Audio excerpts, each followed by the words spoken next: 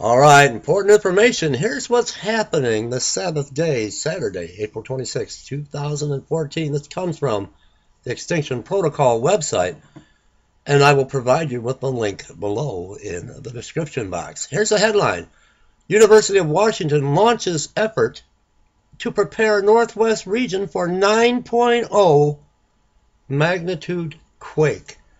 Coming out today, this is a breaking story. April 2014, Seattle. Scientists fully expect that the coast of Washington, Oregon, British Columbia, and part of Northern California to see a magnitude 9 subduction zone earthquake again. It's been 314 years since the last one in January of the year 1700. Scientists know of this quake because of written reports from Japan that recorded a tsunami. The reports of a giant wave also correlate with rings and old trees killed when marshland along the Washington, Washington coast dropped several feet, allowing seawater to envelop their roots. This week, scientists with the University of Washington gathered 55 experts from around the region.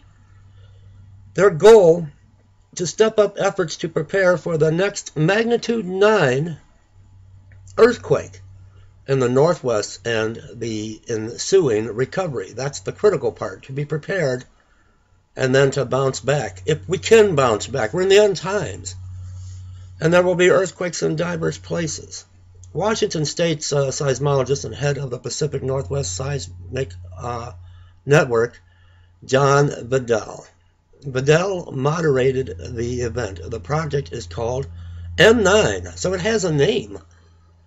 Project M9 as in magnitude 9, but the lessons learned from it could be applied to any major natural disaster in Washington, a state that's currently recovering from the landslide near Oso on March 22nd that killed at least 41 people. It may be the hand of judgment on Washington for turning its back on Israel, turning its back on God, a harbinger.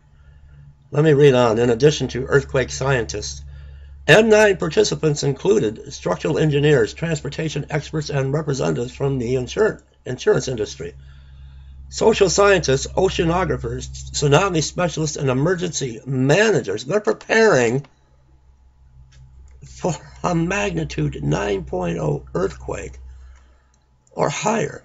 The plan is to update the science uh, to better prepare everything from skyscrapers to bridges to people in their own homes for when a mega quake hits.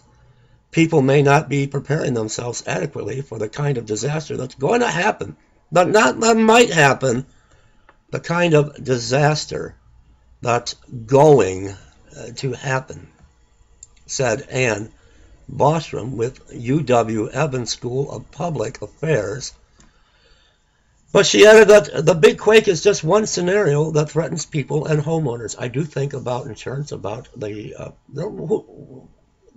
a 9.0 quake, and you're thinking about insurance, about the preparations people can do. Call upon Jesus to come into their heart. That's what they need to do.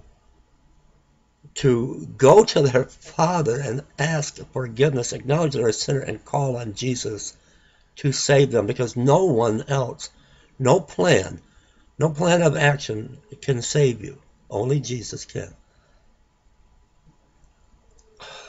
Let me read on. I think about the mental preparations people have to do in order to plan for all kinds of hazards and what we can do in our risk communications project to help people do that. Bostrom uh, said, all right, uh, that, let me read, let me just skip ahead a little bit. Uh, that could trap earthquake waves and cause them to resonate for a longer period of time, creating more damage. An area of further study is how to how those rather earthquake waves, particularly ones of certain frequencies, will affect tall downtown buildings. They're preparing for a 9.0 mega quake. University of Washington launches efforts to prepare Northwest region for 9.0 magnitude earthquake but let me read this just for a moment. Scientists fully expect that the coast of Washington, Oregon, Oregon. Now let me take you to the next story. Small earthquake strikes off Oregon coast. Uh, it's building up. I'm telling you, it's building up to the mega quake. And there will be earthquakes in diverse places, and it just may be the big one that cause the dead in Christ to rise first, and we which remain to be caught up in the clouds to meet the bridegroom in the air. Small earthquake strikes off Oregon coast. Tension mounting on dangerous Cascadia Fault. Oregon, a magnitude 4.7 earthquake struck on Friday, yesterday, off the coast of Oregon in the Pacific Ocean. The U.S. Geological Survey said, but it did not trigger a tsunami warning. It needs to trigger a warning to all of us, uh, the unsaved, the sinners of the world, and the children of God. It's time to prepare. It's time to prepare to go home. The USGS uh, said the quake, which was only 6.2 miles below the seabed, was centered 132 miles west of Bandon, Oregon. The Pacific Tsunami Warning Center showed no tsunami warnings in effect following the small quake. That came from Reuters. Look up, everyone. Look up. He's about to break the sky. Come. Come, Lord Jesus, come.